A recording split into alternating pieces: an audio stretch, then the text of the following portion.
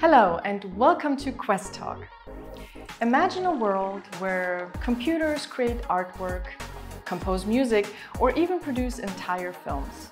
This future is a reality today thanks to the fascinating advances in generative artificial intelligence. So, welcome to our discussion about the rise of generative AI and its impact on the media industry. Here to talk to me about this fascinating topic is Philipp Glänzel. Philipp, thank you for being here. Thank you for having me today. So, Philipp, what fascinates you most about generative AI? Well, I think um, within our industry and within our company, we have always been on the lookout for AI and for the development. Um, but the results that have come out of generative AI in the last two years have been really uh, amazing and have sparked kind of a new interest uh, into that topic. And it's looking into that, it's clear that you cannot ignore it and it will change the industry. So we need to be engaged with that. Yeah, you just mentioned those last couple of years. Um, for someone who's not as close to the topic, it seemed like, whoo, AI came out of nowhere. Um, but that wasn't really the case. It was a long time in the making, right? Could you maybe take us through some steps that were really crucial in the developing of generative AI? Yeah, of course.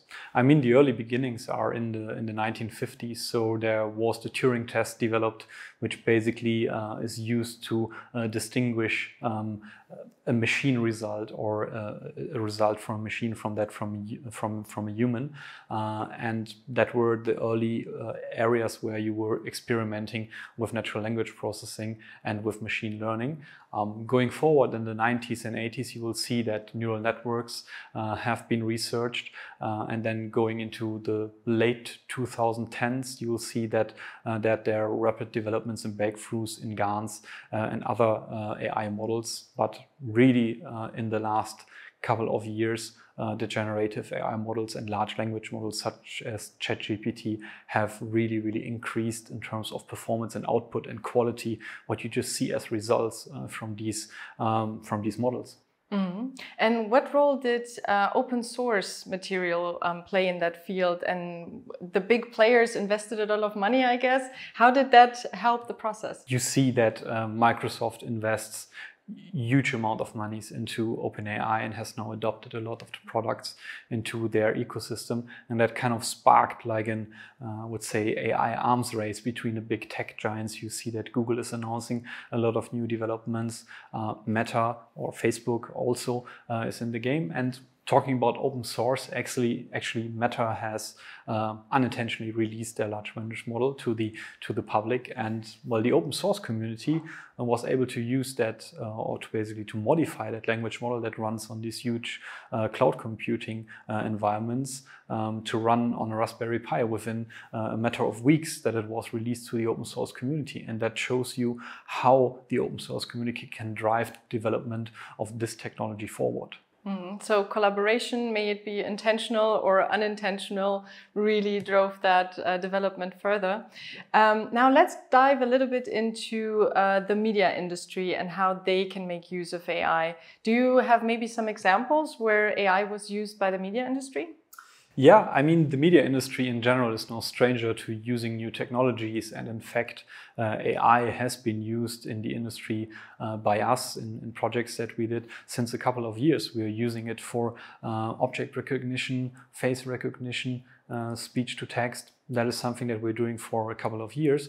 Now, with the uh, generative AI, um, new possibilities arise, and where we see, okay, we can take all of these, translate, for example, a translated content, we can generate a summary out of it, we can generate a Twitter post out of it. Uh, all of this is now now possible, and this is just the beginning um, that we will see within the media industry. That's really fascinating. Do you have maybe a specific example where it was um, taken even further than that? Where, you know, 10 years ago, you might have needed a camera crew or a screenwriter, some actors to do something, and now it's just the push of a button? Yeah, yeah, of course. There is, uh, I think, one example that went a little bit viral on Twitter uh, a couple of weeks ago. It's um, uh, created by the users called Pizza Later, and it's kind of an 80s commercial uh, for uh, for a pepperoni pizza place, and it's fully generated by AI. Are you ready for best pizza of life? Bring friends down to Pepperoni Hug Spot. Our chefs make pizza with heart and special touch. Cheese, pepperoni, vegetable, and more secret things. Need delivery? Pizzas come fast. Knock knock, who's there? Pizza magic. Eat pepperoni hug spot pizza. Your tummy say thank you. Your mouth say, mmm. Pepperoni hug spot. It's like family, but with more cheese. Can you maybe take us through the process like what ai systems were used for for what part of the video? Yeah. So um, actually the uh, video was generated by runway ml which is currently still in, in the beta stage. Mm-hmm. uh, the images that you see are generated by by midjourney. Um, the um, the music was generated uh, by an ai as well uh, and of course the voiceover as well. So the only kind of uh, manual intervention was then assembling everything in after effects and doing a little bit of text overlays because actually AI is, generate, uh, is struggling a little bit when they should generate text as images. Um, that's still uh, some, some improvement is needed. But yeah, that is all okay. possible today. And you mentioned Runway. Um, when will that come out of beta? So when will it be widely available? Do you have any insights on that? I think within the next couple of months, so you can oh, wow. see already that uh, you can get invited, invited, or you can apply to be uh, a beta tester. Uh, but Runway also has a commercial uh, product line that is already available and is used uh, in uh, in production right now. I think there are some late night shows in, in the US that have recently used it for some background for some background video that was created by that. Wow, okay. So it's already in use, it's already out there, and people in the media industry use it. But how about the copyrights of that generated? Um, you know, the, you mentioned Twitter posts, you mentioned summaries. Um, can you just freely use um, those texts and just say that the copyright is yours, or who is the copyright of? Yeah, I think you're, you're touching a really important point there. So uh, when you now use uh, AI and let's uh, take the example of image synthesis, you should be um, really aware about what the terms and conditions um, of the service say that you are using. So sometimes you may own uh, that uh, that content. Sometimes you share that content actually uh, with with the with the company, with the service provider, or you share the content with the public, and it's under a Creative Commons license. So you need to really look into the fine print and see, okay, is it uh, is it safe to use for the purpose that you want to use it? It's of course a lot of fun to uh, to play with it. Um, but of course, the other side of that is kind of the um, ethical uh, debate. So a lot of these um, models have been trained uh, on works that have been created by uh, by creators and individuals that may have not been asked if that's okay. And of course, the results that are coming out of these models could be very, very similar to the artworks of these creators and have actually already uh, um, resulted in some copyright claims that are to date not fully, not fully resolved. So I think you need to be aware of what you're using, how it has been uh, trained. Um, there are alternatives out there. Uh, for example, Adobe Firefly uses um, um, a training set um, that was licensed uh, properly and no copyright was was infringed at, uh, at that case. But shows that you should be aware on how to use that technology today. Mm -hmm. And is the quality of um, AIs that have been trained on a specific set of pictures that are licensed any different from the, let's say, pirate versions? Well, in fact, I have recently compared a little bit the results of um, of that. So we I looked at uh, DALL-E, I looked at Midjourney, looked at um, Leonardo AI, and also uh, looked at Firefly. And well, you have to say, while DALL-E was one of the first ones uh, that became a little bit known in, in the public for doing image synthesis, it is a little bit on the back foot in terms of quality. So I think you need to do some real prompt engineering to get some um, some good results out of that. While with the other tools, with relatively simple prompting, you get super super great results uh, out of that, and they're um, yeah they're, they're really good. Okay, so the possibilities are endless. But um, let's get back to um, responsibility and maybe what are potential risks um, when you use AI? Like, for instance, um, hallucinations, or can I really rely on the facts that um, AI is giving me? The question is really how do you use AI uh, and are you transparent about it? So I think that is one big part uh, when using it. Um, it is something that you in my opinion, you should be transparent about when you create content that it's clear for the uh, for the viewer or for the recipient that it has been AI generated because it's not that easy to distinguish. And you have these cases of uh, fake news, deep fakes, uh, pictures from people in places where they never uh, have been before that can create quite some, some trouble. But also on the other end, you have actually AI models that help to expose such um, fake news and such deep fake videos or deep fake images that can detect or that have been trained to detect if something was AI uh, generated.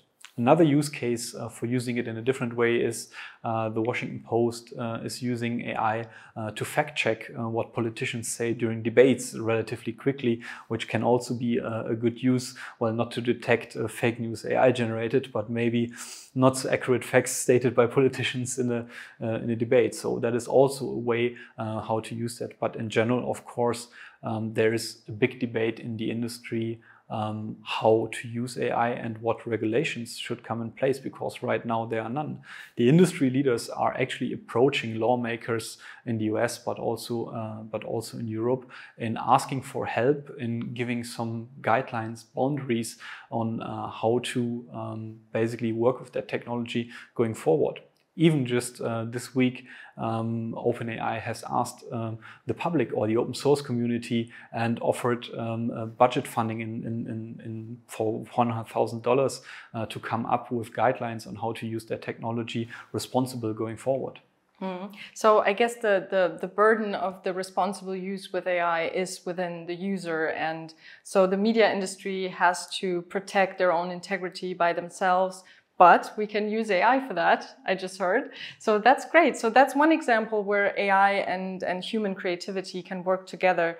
Um, do you have many other examples where this works particularly well? Well, I think definitely in the in the content creation, you will see that AI will will change um, the way how we create content today and how we uh, how we work today. So many areas where let's say stock footages need to be created or background images uh, need to be created. I don't think it will be necessary in all cases to go back to an artist to do that because the results that we see today are um, are rather astonishing already. Um, on the editing side, um, we can see already that tools are out there who basically can use what we are doing today, uh, different camera shots, people having a conversation, uh, load a plugin into Premiere and then cut uh, basically um, always to the person that is speaking uh, relatively effortlessly.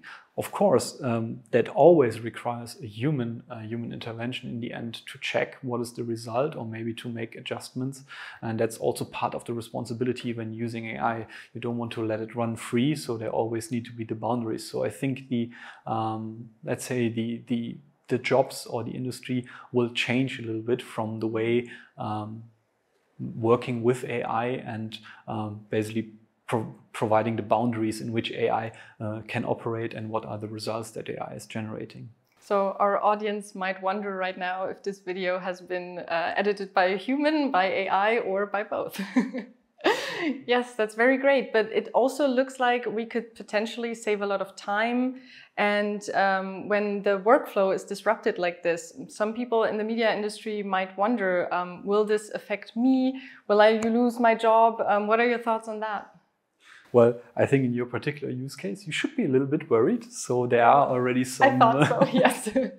there are already some, uh, let's say, um, AI um, presenters or, uh, or news anchors out there who are reading some news, but it's mainly right now um, for, for small social media snippets. And I think a real conversation is still very hard to have with, uh, with a presenter AI. However, if you look into the um, gaming industry, uh, NVIDIA has just released a showcase where uh, a player is interacting with a non-playable character in a video game um, based on natural language input. He's just talking to that character and he's responding without a script. Uh, it's freely AI generated. And the interesting thing is the latency is very, very short. So you don't notice that there is like a thinking process of the AI, how to answer. It just immediately responds. For sure, it has some guidelines into what it should respond, but it's, it's really interesting and shows you how that will uh, develop in the future. Wow. That already brings me to my last question, the future. What do you think, where's AI going in the next year, the next five years? What should be, um, what should we be really um, paying attention to when it comes to these developments? I think with the rate of development that we're seeing right now, it's very hard to predict where we are in five years. Um, if you hear in the industry, people are talking about general intelligence and singularity to be reached much sooner than expected and predicted so far. I will not go into that part. I'm looking more a bit short term. I think what, what is becoming really interesting is the multimodality uh, of the AI models so that we uh, can generate video, text, images from the same model. Right now we have specialized tools that are very, very great in doing text, very, very good in doing images. Um, very, very good into video and we need to integrate them with each other. But I think what we need to be on the lookout is the, the new models that will combine uh, all of this and you will then uh, basically can have a multimedia experience based on, a, based on a prompt that you give to that AI. Wow. That's, I'm looking forward to that. Thank you very much, Philipp, for being here. And that was a really interesting conversation. I hope to talk to you soon. Thank you. Today we have gained some valuable insights into the emerging world of generative artificial intelligence and on its impact on the media industry. Some of you may eagerly embrace this new technology and see all the opportunities that it might bring. Others might be more skeptical of artificial intelligence and be more concerned about its implications. So, we would like to know what are your thoughts on generative AI? Are you welcoming this technology or are you more concerned about the loss of human creativity? Let us know in the comments below. Write your opinions and your experiences with generative AI. Thank you very much for watching. If you enjoyed this video, don't forget to give it a thumbs up and follow our channel so you won't miss any future content. Thank you very much and see you soon.